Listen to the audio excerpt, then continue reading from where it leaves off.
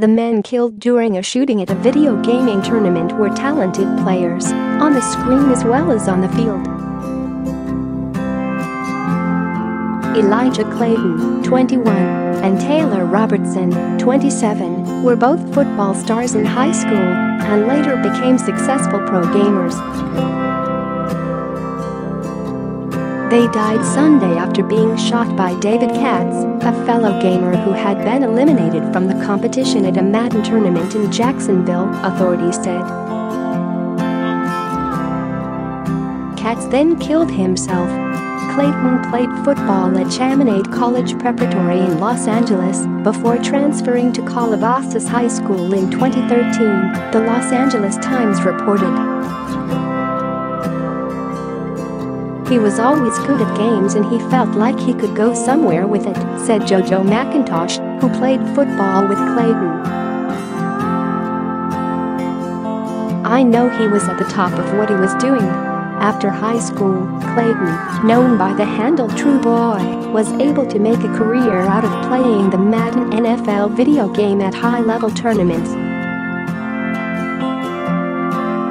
He placed second at a recent competition called Muthead and earned a share of the $20,000 prize. If you knew the competitive Madden scene, you knew him, said Dayne Downey, a fan of Clayton's and an NBA 2K League player.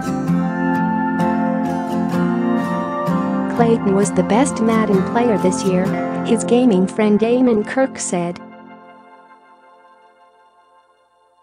He probably would have walked away with a half a million dollars. The winner of the Madden Classic 2017 was Robertson, a husband and dad of one from West Virginia. Robertson also played football in college as a running back at James Monroe High School, Metro News reported.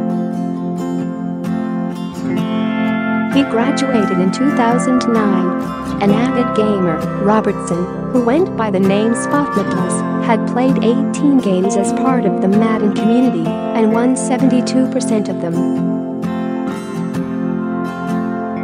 He died exactly three months shy of his 28th birthday.